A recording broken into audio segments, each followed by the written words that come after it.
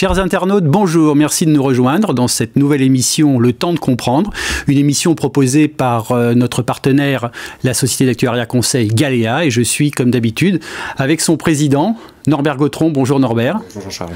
Alors aujourd'hui, nous allons parler d'un sujet très bien travaillé, allez, on va le dire, ou en tout cas pas assez connu, qui est celui de l'assurance chômage des dirigeants, des chefs d'entreprise.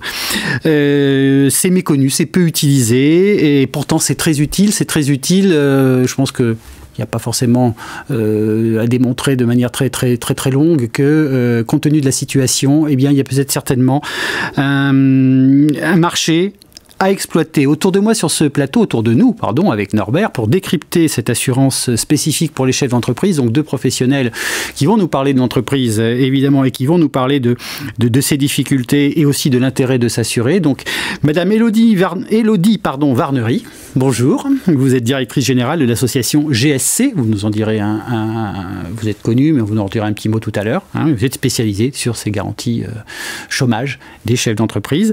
Et Monsieur Thierry Millon, Bonjour. Bonjour.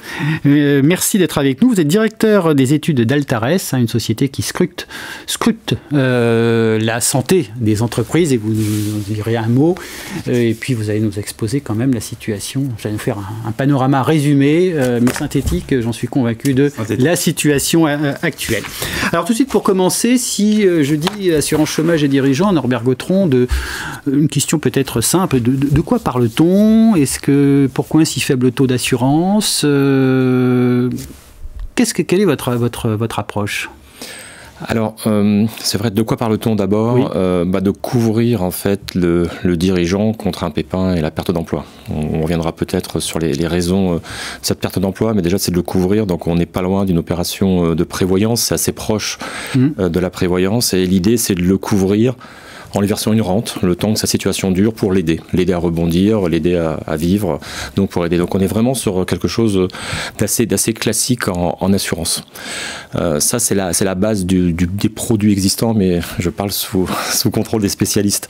Euh, pourquoi se peut développer Là aussi, je laisserai sûrement, euh, mes collègues un petit peu aller plus loin. Je pense que c'est méconnu. Donc, mmh. d'où l'intérêt, je pense, d'en parler ensemble. On n'en parle pas assez. Voilà, ça, c'est un premier point. On parle beaucoup de prévoyance, de retraite, de santé. Et pour les dirigeants, on ne parle pas d'un pépin de base s'il n'y a plus de, plus de travail. Donc, c'est méconnu. Est-ce que c'est aussi la faute du dirigeant qui va se dire euh, il y a une espèce de déni quelque part de l'échec? On pourrait, on pourrait en oui. parler. Sentiment de ne pas en avoir besoin.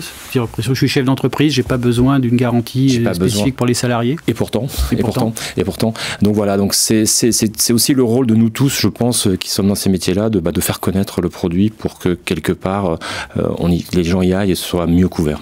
Hum. Alors Thierry Millon, euh, qui dit assurance chômage des dirigeants, dit au moins à un moment donné défaillance, défaillance des entreprises. Donc vous êtes un, non pas un, spécialiste des défaillances d'entreprise, vous êtes en tout cas un, un, quelqu'un qui regarde, qui regarde les comptes. Et vous allez nous dire un, petit mot sur, sur Altares et euh, donnez-nous quelques, quelques notions basiques finalement de. Là encore, peut-être une question qu'est-ce qu'une défaillance d'entreprise euh, aujourd'hui? Alors Altares est une société euh, experte sur la donnée entreprise. Oui. Euh, depuis euh, longtemps. Avant, on appelait ça sans doute euh, l'information commerciale. Mmh. Et donc, il s'agit euh, d'agréger euh, des données pour les faire parler. Altares, euh, évidemment, les fait parler sur le territoire français, mais aussi sur toute la planète, puisque nous sommes membres pour la France, le Benelux et le Maghreb du réseau international, le premier au monde. Ce qui nous amène évidemment à devoir alimenter et gérer une base de données de 460 millions d'entreprises. Et donc, il y a dans cette grande base de données, naturellement, les moyens d'accompagner, d'aider les grands évidemment, mais aussi les petits et les collectivités sur la connaissance de leur territoire. Bref, avoir une information sur la santé euh, des entreprises qui euh, composent euh, et constituent notre économie. Alors une défaillance d'entreprise Alors parmi les indicateurs, évidemment, il y en a un qui est un peu triste et c'est celui de la faim. Et donc mmh. la faim est de, de nature, soit vous avez décidé d'arrêter, mmh. soit vous avez malheureusement été contraint de le faire parce que le contexte ne vous a pas permis de rencontrer le client que vous souhaitiez. Et donc du coup, ça s'appelle effectivement une défaillance. C'est une ouverture de procédure Donc l'entrepreneur va devant le tribunal de commerce ou le tribunal judiciaire à compétence commerciale et sollicite donc de ce tribunal l'ouverture d'une procédure et selon sa situation, elle va être naturellement de plusieurs natures. S'il n'est pas encore en cessation des paiements, c'est-à-dire qu'il est encore capable de régler, il peut demander une sauvegarde, c'est-à-dire être dans euh, le schéma où je pense que je vais quand même rencontrer des difficultés par anticipation, par prévention, je demande la protection du tribunal. Sinon, évidemment, malheureusement, le plus courant, puisque les sauvegardes, ça n'est que 2% de l'ensemble, le plus courant, malheureusement, c'est le redressement judiciaire et pire encore, hmm. la liquidation judiciaire. D'accord, donc là c'est la fin. Alors, un point de situation 2022 au niveau des défaillances, et puis un petit point de projection 2023, hein, avec tout ce que l'on peut entendre, notamment de récession ou de croissance euh, atone ou affaiblie c'est évident que nous avons euh, suffisamment de nuages au-dessus de la tête pour être inquiets. Pour autant, il faut essayer de comprendre mmh. que ces nuages vont pas tous s'arrêter, ils vont passer. Donc, du coup, euh, essayer de définir où est-ce que nous en sommes avec le plus de, d'honnêteté possible. Et donc, là, en l'occurrence, nous avons une année 2022 euh, qui reste encore une très bonne année, mmh. avec malheureusement une situation géopolitique qui est insupportable. Mais mmh. au dépit, en dépit de, de, cela, nous allons terminer l'année avec une belle croissance. 2022, donc en termes de défaillance, ça sera malgré tout 40 000 entreprises et dirigeants donc, euh, qui auront été contraints euh, de rencontrer le tribunal de commerce et beaucoup d'entre eux, essentiellement euh, la grande majorité d'entre eux, seront liquidés. ces 40 000 sont à mettre en parallèle d'une année traditionnelle d'une économie dans une conjoncture convenable où nous sommes plutôt au-dessus de 50, autour de 55, 52, 55 000 entreprises. Depuis la phase Covid, évidemment, nous sommes euh, très en dessous. Nous avons, euh, sur euh, les années 2020, 2021, 2022, sur ces trois années réunies, épargné, économisé 50 000 dépôt de bilan. Ça veut dire qu'en trois ans, on a euh, économisé une année de faillite. Donc il faut évidemment s'en féliciter. Cela euh, a été rendu possible par l'accompagnement euh, des acteurs publics, donc tant mieux, qui ont été à la fois efficaces et surtout rapides. Il demeure que la situation internationale, malheureusement, aujourd'hui, ne permet pas d'espérer que ça va se poursuivre. Alors, d'où ma question sur 2023, qui est... Qu'est-ce que... Sur 2023, comment vous anticipez la, la situation, elle est évidemment forcément plus tendu. Hmm. Nous avions euh, l'espoir euh, de revenir à, une, à un niveau de défaillance habituel euh, aux environs du printemps 2024, voire l'été. En l'occurrence, on va l'atteindre dès cette année 2023. Donc on va finir l'année 2023 aux environs de 52, 55 000, c'est-à-dire on va revenir à la situation d'avant Covid. Ce qui finalement n'est pas extrêmement dramatique, à l'exception évidemment de l'effet humain que cela représente, hein, puisque chaque fermeture, c'est des pertes d'emploi de dirigeants, de salariés. Euh, c'est juste que 2023 est une année sur laquelle nous ne savons pas encore dire si nous serons en récession ou pas, mais on sera euh, à calculer euh, à un ou deux chiffres après la virgule. Et donc, dans ce contexte très difficile, arriver à tenir un rythme de seulement 55 000 défauts, c'est quand même tout à fait remarquable. Mais malheureusement, naturellement, beaucoup de dirigeants vont, et des, des petits en particulier, vont être rattrapés par cette crise 2023. Et une dernière question sur, cette, sur ce panorama, des secteurs particuliers plus touchés que d'autres? Oui, alors déjà comme ça. Euh, oui, euh, depuis déjà de, de, nombreux mois, nous avons euh, très clairement une fragilité des activités à destination du consommateur. Mmh. Donc, euh, en particulier ceux qui ont été les plus protégés pendant la phase Covid. Et donc, en tête de cela, euh, les restaurateurs. Donc, restaurateurs, euh, coiffeurs, soins de la personne, commerce de détail, en particulier aujourd'hui le commerce alimentaire qui souffre énormément à la fois sur le détail, le gros, mais, mais même sur l'industrie agroalimentaire. Donc, on, on, est plutôt sur, encore une fois, du B2C et donc des entreprises de petite taille, moins de 3 salariés et on pense toujours, parce qu'on a réussi à passer la Covid, c'est quand même euh, remarquable, on pense que nous allons euh, arriver encore à passer cette étape. Et là, euh, c'est moins certain. D'accord, merci. alors, Elodie Vernery, un mot, un mot sur GSC, et ensuite, aux environ, si je dis en 55 000, 50, 55 000 défaillances, on va mmh. dire, par an, en mmh. rythme de croisière, si je puis mmh. m'exprimer ainsi.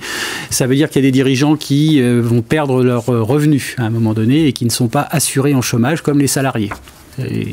Alors, un mot sur, sur l'association GSC et ensuite, expliquez-nous comment fonctionne, puisque vous êtes la spécialiste euh, de l'assurance chômage des dirigeants. Oui, alors on le voit bien, la situation euh, est complexe et euh, seulement 1% des chefs d'entreprise sont couverts par un contrat d'assurance volontaire. D'accord, quand on parlait de profondeur du marché, donc là, la réponse, elle est, Exactement. Elle est, nette. Exactement, et pourtant, des solutions existent et elles sont méconnues. donc c'est d'ailleurs pour cette raison-là que nous en parlons aujourd'hui. Alors l'association GSC, donc c'est une association, c'est mmh. une association souscriptrice. Elle a souscrit le contrat d'assurance auprès d'un pool d'assureurs il y a déjà 40 euh, ans sur une belle euh, idée qui était de protéger les chefs d'entreprise, qui était euh, idée portée par les organisations patronales, MEDEF, hmm. CPME et, et, UDP et puis quelques branches. donc l'association souscriptrice, elle est là pour veiller aux intérêts des chefs d'entreprise et puis elle est là également pour informer les chefs d'entreprise justement de la nécessité d'anticiper les risques. Euh, donc, elle, elle, promeut évidemment un produit, ce produit d'assurance qui a été élaboré par ces, mmh. ces compagnies d'assurance. Euh, et ce, ce, produit GSC, il, est, euh, il, est, il concerne tous les chefs d'entreprise, euh, hormis les agriculteurs et les professions libérales. Ça veut dire qu'on couvre, on peut ah, couvrir les mandataires sociaux assimilés salariés, ce qu'on appelle les mandataires sociaux assimilés salariés, donc président, directeur de SA et SAS pour faire mmh. schématique. et puis les, les, TNS, donc les travailleurs non salariés, qui sont les entrepreneurs individuels, les artisans, les commerçants, gérants de SARL. Mmh. Les petites entreprises, ont parlé, Thierry Billon, de trois vulnérables, de trois, trois salariés. Euh, la GSC peut couvrir euh, l'ensemble de ces, euh, de ces chefs d'entreprise. Oui. Alors justement, vous avez fait une distinction entre les mandataires sociaux et les, on va dire les, les petits patrons. Ça n'a rien de péjoratif, mais c'est pour faire une distinction, l'artisan, commerçant, puisque vous traitez pas des professions libérales. Euh, alors, les mandataires sociaux, qu'est-ce qu'ils euh, qu'est-ce qu'ils risquent De se faire révoquer alors, euh, Exactement. Parce que l'entreprise, on peut se faire révoquer sans que l'entreprise soit en faillite. Là. Enfin, je dis une, je pas de bêtises. C'est ça. C'est ça. Hein donc, on peut se faire révoquer et vous couvrez. C'est ça, exactement. Donc, la GSC couvre à la fois le risque de, en fait, couvre tous les risques de perte involontaire de son mmh. emploi. Donc, que ce soit la révocation pour le mandataire social qui est son risque principal, ou bien la liquidation, le redressement avec éviction du chef d'entreprise, euh, la cession et même les euh, cessations d'activité sous contrainte économique, donc de manière amiable. Avec évidemment la, la démonstration de cette contrainte économique.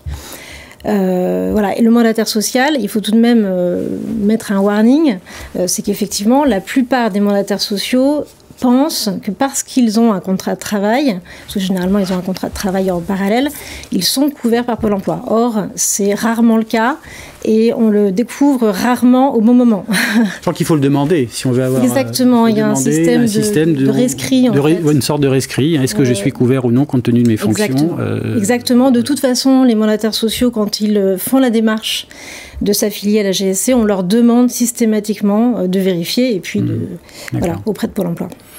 Et alors, mon petit patron, lui, qu'est-ce que c'est? C'est la, la faillite, une cessation de paiement C'est euh, ça. Qu'est-ce qui va déclencher euh, Eh bien, c'est la perte de, son emploi, donc c'est la perte euh, liée à une liquidation. Une liquidation. Schématiquement, la liquidation, ou bien, comme je le disais tout à l'heure, la cessation d'activité sous contrainte économique. Alors, votre les cas d'ouverture. D'accord. Alors, votre, votre couverture, qu'est-ce que c'est? C'est une, c'est un, c'est une, enfin, une rente, enfin une indemnité, une indemnité chômage sur une, durée. Il y a une durée maximum. Proportionnelle à l'ancien revenu. Euh, donc qui est euh, qui peut être de 55 ou 70% sur 12, 18 ou 24 mois. Son choix, oui. Voilà, exactement. Et son coût, euh, puisque hmm. son coût, c'est pour un pour un, un, TNS qui gagnerait 40 000 euros de revenus, pour 152 euros par mois, il peut toucher 2300 euros d'indemnité. De, D'accord. Par mois, évidemment. Ok, donc ça sur une durée de... Ça, c'est pour 12 mois. C'est pour 12 mois. Exactement. Ok.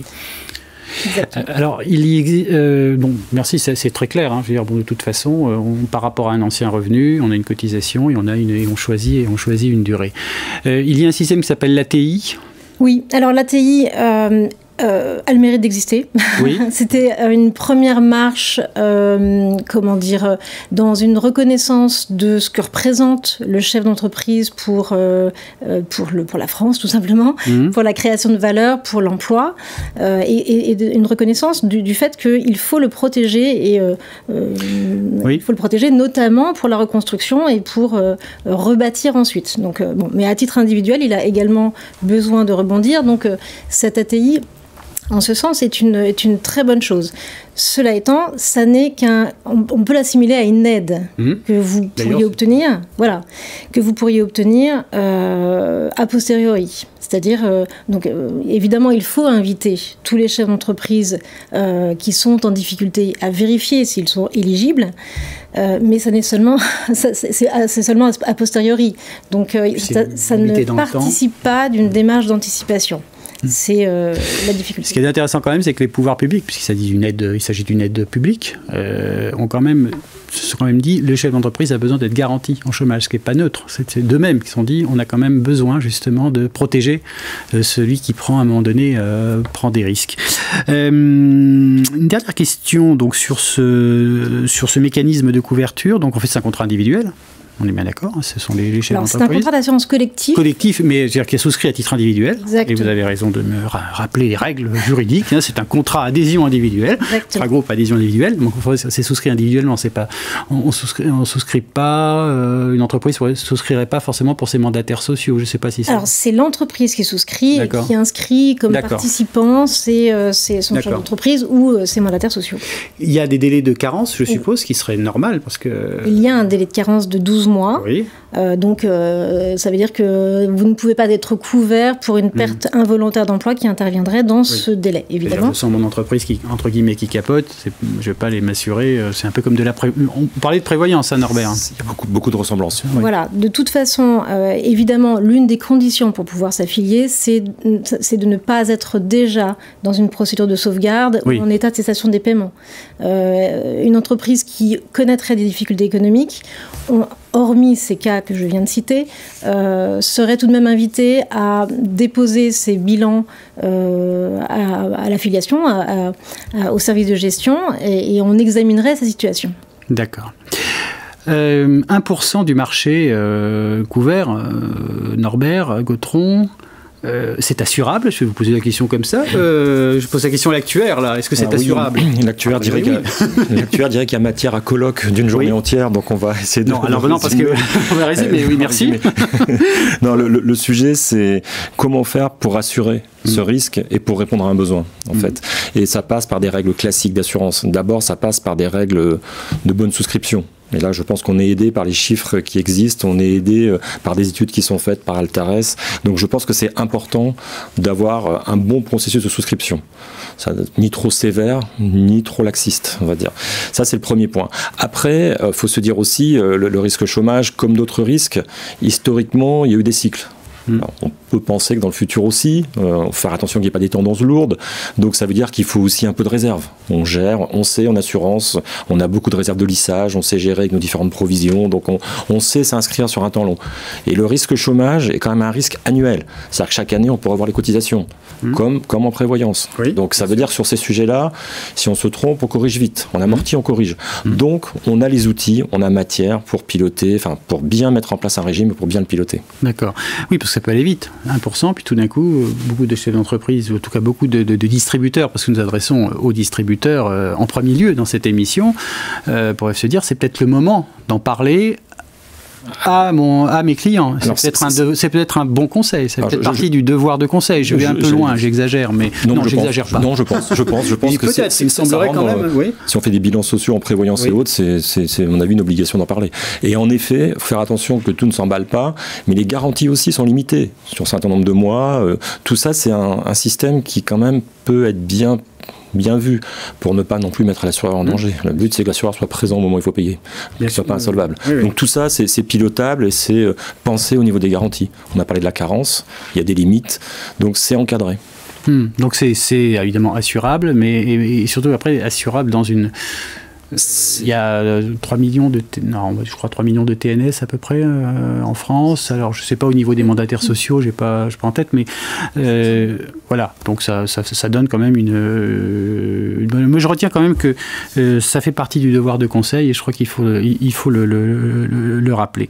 Et on sait, on sait gérer parce que finalement ça se pilote comme de la prévoyance on sait gérer, ça se pilote. Je pense qu'on a. Gardée, je, je, pense qu'on a plus d'informations aujourd'hui grâce mmh. à ce qui existe qu'à 40 ans quand le régime a été lancé ici. Mmh. Donc euh, je pense qu'on a quand même les moyens de piloter avec un risque. On fait de l'assurance, il y a un risque. Un risque, mais on a, on a des moyens de, cadrer le risque et de, le suivre et de le piloter.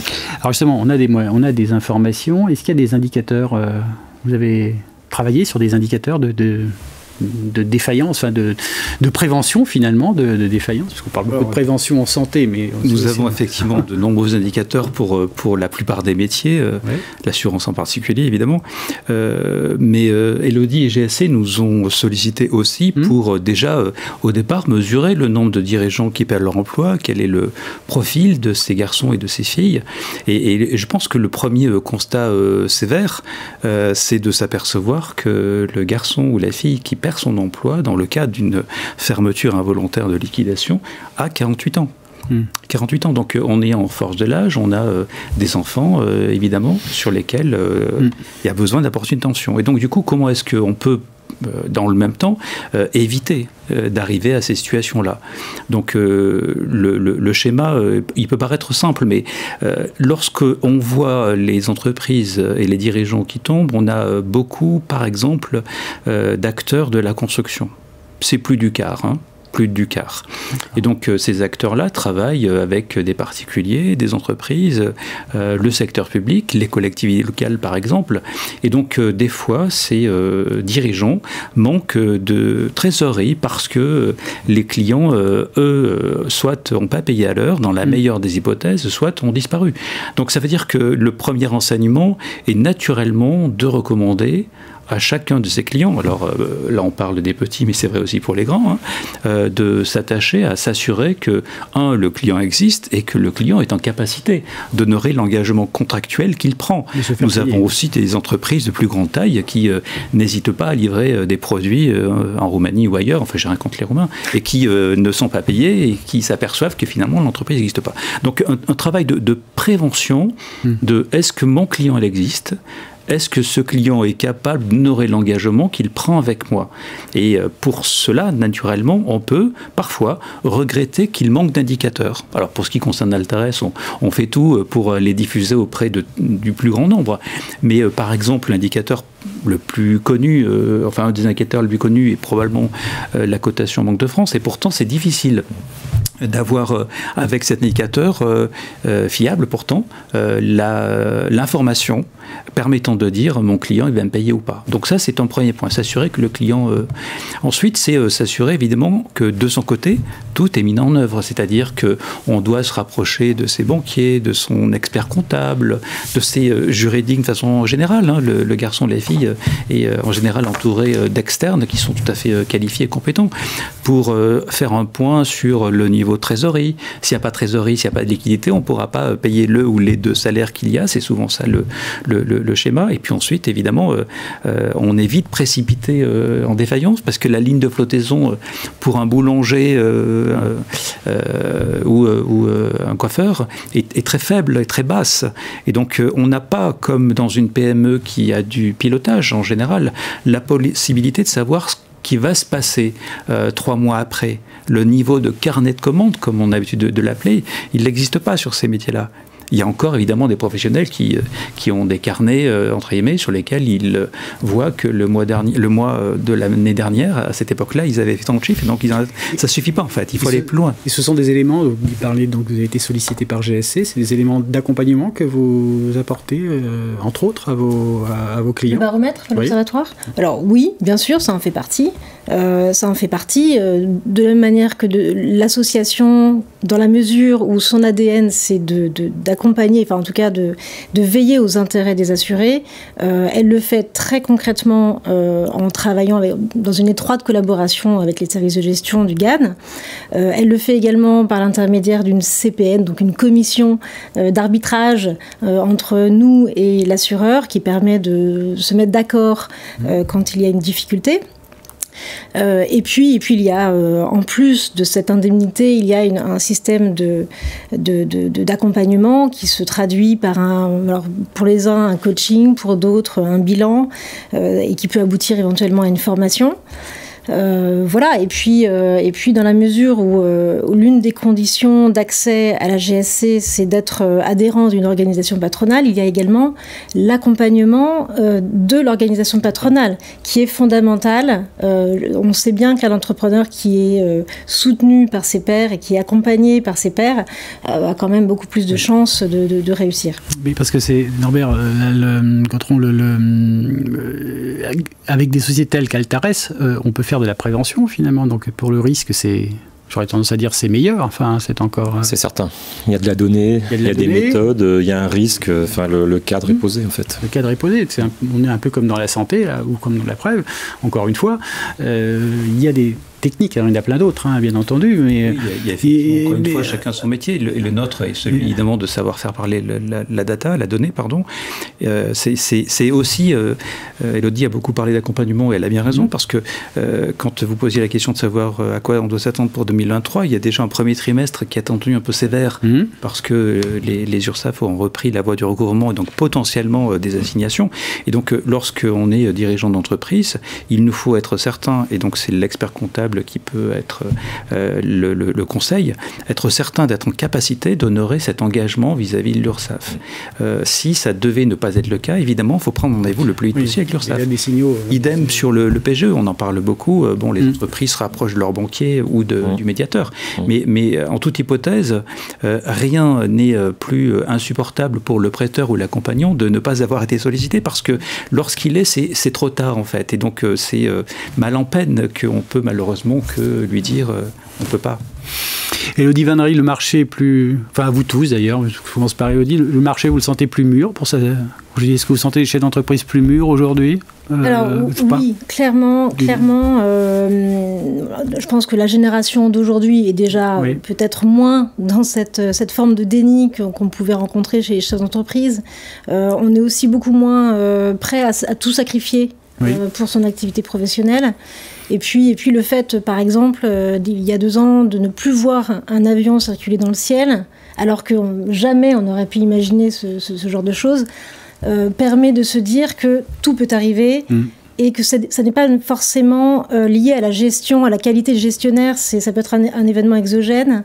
donc oui, je pense que les choses ont, ont véritablement changé. Oui. Vous le ressentez Je ne sais pas si euh, à votre niveau peut-être. Oui, Norbert, euh, euh, je dirais il faut que les assureurs et les distributeurs s'en emparent. Oui. Voilà. Ils, accéléreront le changement. Ils accéléreront le changement. Et vous, Thierry Millon oui, il y a parmi les indicateurs évidemment que nous suivons, que nous construisons et qui nous sont demandés, il y en a un qui me paraît être tout à fait important, c'est celui de la RSE.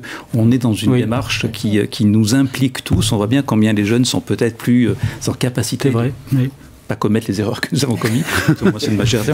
bref, voilà, on, a des indicateurs qui montrent quand même qu'il y, y, a une appétence à euh, un entrepreneuriat un peu, un peu, plus, un peu différent, un peu plus moderne. À une époque, euh, enfin, il y a toujours des garanties chômage dans l'emprunteur. C'est, c'est un peu à part, mais il faut peut-être rappeler qu'elles existent, qu'elles sont pas forcément non plus utilisées. C'est vrai, c'est vrai que c'est un petit peu à part, mais c'est vrai que ça bouge. Sur les emprunteurs, il y a la, mhm. loi Lemoine, oui. qui, pour plein de raisons, euh, fait réfléchir les assureurs aussi sur la, la, partie chômage. Mhm. Je pense que la partie chômage sur l'emprunteur, c'est très complémentaire de la garantie chômage pour le dirigeant. Donc je pense mhm. que là aussi, c'est un moyen euh, d'aborder de la meilleure façon le, risque chômage.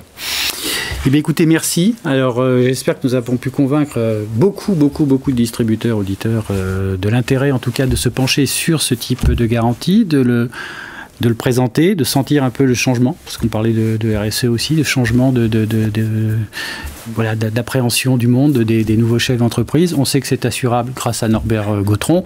Donc euh, voilà, moi je pense que encore une fois, je l'ai dit, je vais le redire. Euh, je crois que le devoir de conseil, c'est d'en parler. Merci, merci Thierry Millon. Merci à vous. Et Oli Vernery, merci beaucoup. Norbert Gautron, à bientôt pour euh, une autre émission euh, tout aussi tout aussi intéressante et passionnante comme celle-ci. Merci à tous et je vous dis à très bientôt. Au revoir.